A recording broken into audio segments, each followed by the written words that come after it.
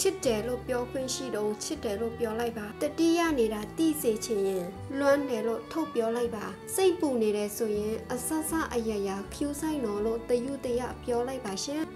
တဆုံတယောက်ကိုပြောချင်နေတဲ့စကားတွေရှိရင်လှုပ်ပေးချင်တဲ့အရာတွေရှိရင်ပြောပြလိုက်ပါလှုပ်ပေးလိုက်ပါရှင်ကိုချေရတဲ့သူဖြစ်ရှင်တာလေးတွေရှိရင်လက်လျှောပေးလိုက်ပါအလိုလိုက်ပေးလိုက်ပါကျူးဆိုင်ပေးလိုက်ပါပြက်တာနွေးနွေးနဲ့ချစ်ပေးလိုက်ပါရှင် တေးချပါတယ်ချစ်ချင်းမြတ်တာနဲ့ဆိုဝမ်းနည်းစရာတွေအကြားမှာပျော်ရွှင်နိုင်ပါတယ်ကိုရှိထားတဲ့အချိန်လေးကိုတန်ဖိုးထားပြီးတော့အကောင်းတွေနဲ့ကြည့်ပြီးအကောင်းတွေရအောင်တန်ဖိုးရှိရှိအချိန်ကိုအတုံးချသွားပါ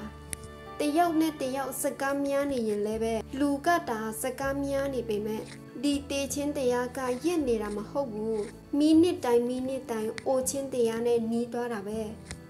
တရက်နဲ့တရက်နီးသွားတာပဲရှိတယ်အဲ့ဒါကြောင့်မို့လို့တန်ဖိုးရှိတဲ့အချိန်လေးတွေကိုတန်ဖိုးရှိအောင်ကုံဆုံးဖို့တည်တတ်ကြပါစေရှင်တင်ပါတယ်ရှင်